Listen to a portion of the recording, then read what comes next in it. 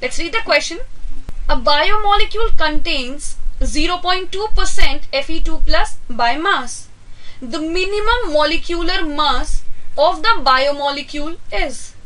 The options are 16,000 U, 18,000 U, 100 U and the last option is 28,000 U.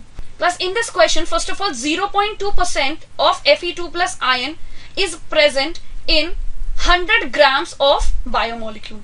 Also each biomolecule should contain at least one Fe2 plus ion. So we can start the question.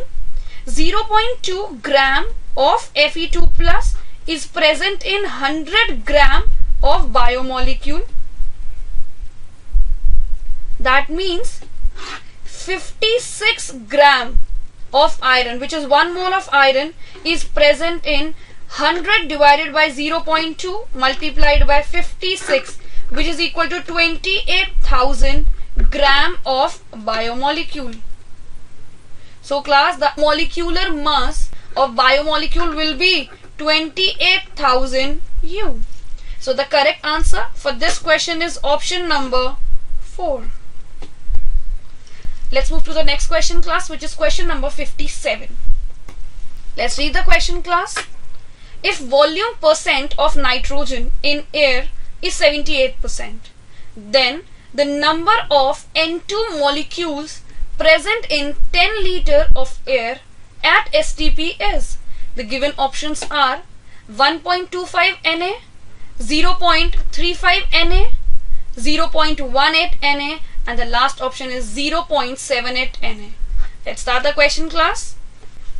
Class we are given with volume percentage of nitrogen which is 78%. That means 100 liter of air contains 78 liters of N2. That means 10 liter since the volume of air is 10 liter 10 liter of air contains which is equal to 78 divide by 100 multiplied by 10 ultimately equals to 7.8 liters of N2. Class now we have to calculate the number of moles of N2 present in 7.8 liter. So moles of N2 will be equal to 7.8 divided by 22.4 at STP the volume of 1 mole of any gas is 22.4 liter which has a value of 0.35 plus now we have to calculate the number of molecules of N2 present in 0.35 moles so number of molecules is equal to number of moles multiplied by Avogadro's number so 0.35 Na.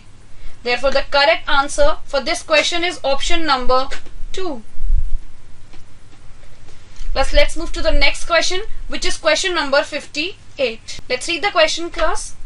Mass of oxygen required for the complete combustion of 3 kg of ethane is. The given options are 11.2 kg, 6 kg, 15.5 kilogram and the last option is 7.2 kilogram. So class for this question first of all we have to write a balanced chemical equation of combustion of ethane.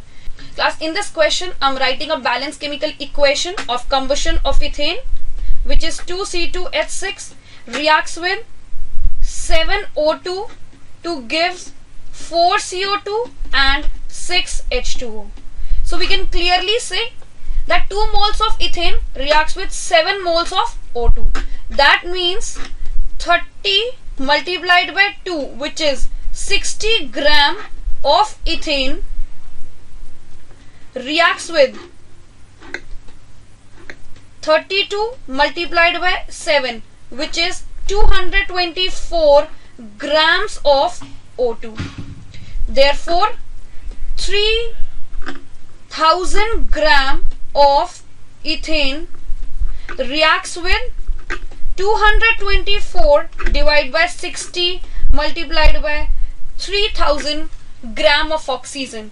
That will be equal to 11200 grams of oxygen. Let's convert this value into kilograms. It will be 11.2 kilogram of oxygen. So let's conclude the reaction class. The mass of oxygen required for the complete combustion of 3 kilogram of ethane will be 11.2 kilogram. Therefore the correct answer is option number 1 class let's move to the next question which is question number 59 let's read the question class. Number of unpaired electrons present in chromium atom is the given options are 3 4 6 and 5 class in this question the atomic number of chromium is also given let's write the electronic configuration of chromium. The atomic number is 24 which is already given. Is argon 3d5 4s1 let's see the number of unpaired electrons present in chromium.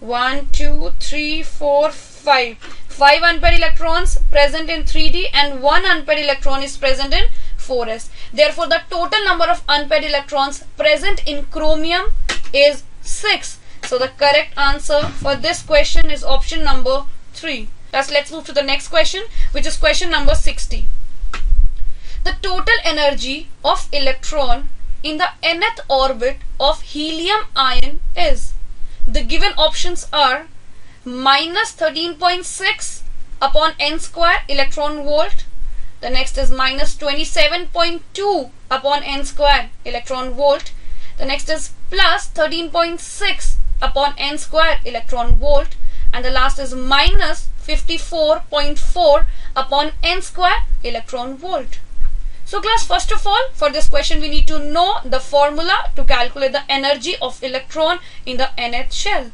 So I'm writing it. Energy is equal to minus 13.6 multiplied by z square upon n square electron volt where z represents the atomic number of the ion or atom and n represents the uh, n represents the number of orbit. So class for helium ion the value of Z will be 2. So energy will become minus 13.6 multiplied by 2 square upon n square electron volt which ultimately be equals to minus 54.4 upon n square electron volt. So the correct answer is option number 4. Class let's move to the next question which is question number 61.